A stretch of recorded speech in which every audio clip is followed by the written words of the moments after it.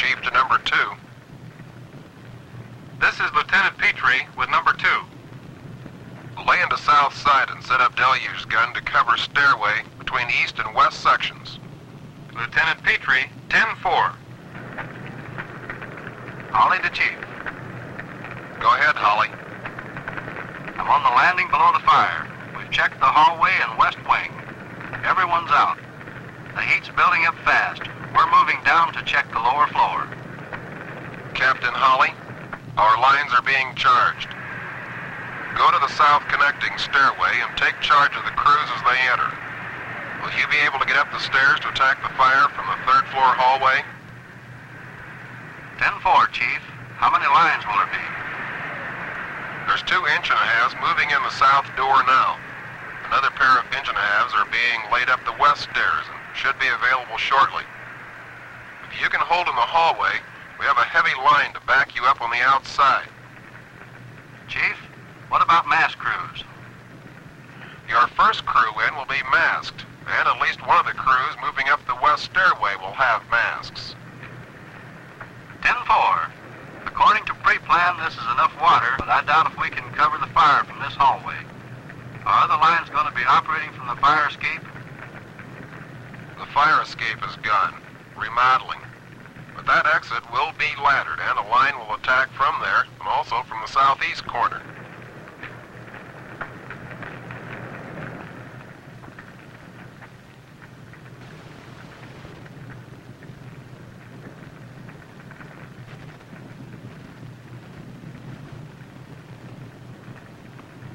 Chief to Holly. The ladders are going up now, and the line crews are ready. Are you ready to attack? There's still only two lines up here in the hall. Let's go with what we've got. Lieutenant Petrie, did you copy? Lieutenant Petrie, 10-4.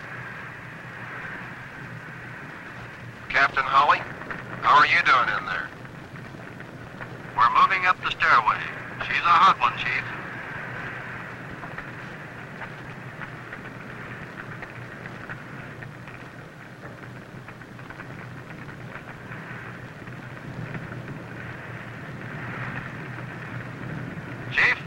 this is Holly. My crews are taking a beating here and we're not getting the job done. Where's that other line? Oh, hold it, Chief. Here they come now.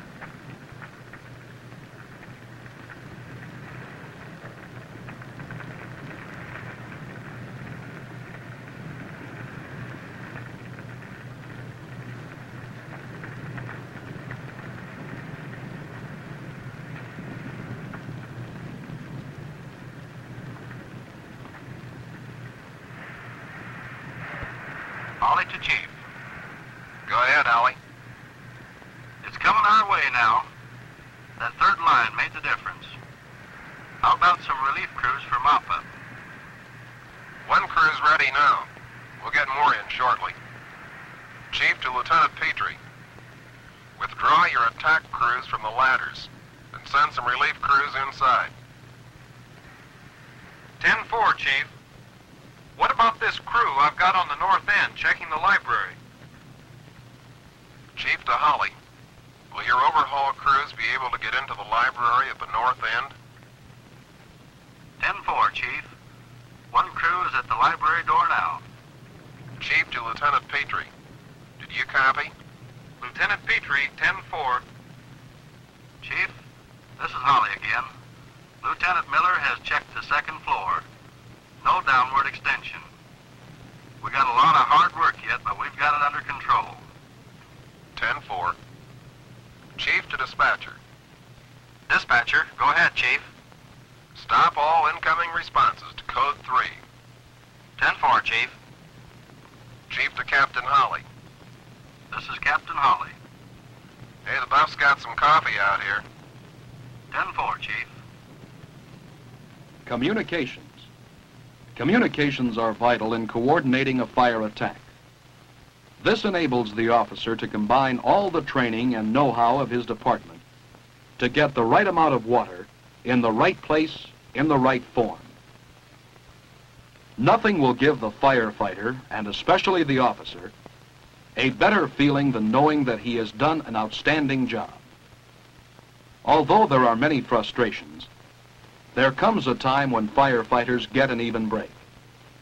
They pit their artistry against the fire and they win. If the firefighter is to have an even break, the fire department must pre-plan their target hazards.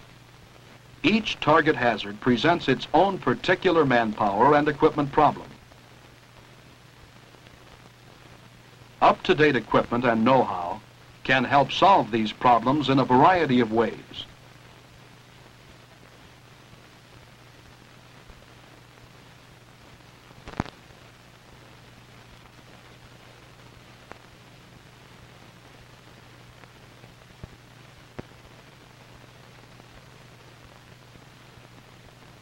Exactly how each individual department solves these problems is not important. What is important is for each department to understand fire behavior and extinguishing requirements, and to have a combination of manpower and equipment, which can be coordinated to provide a workable solution.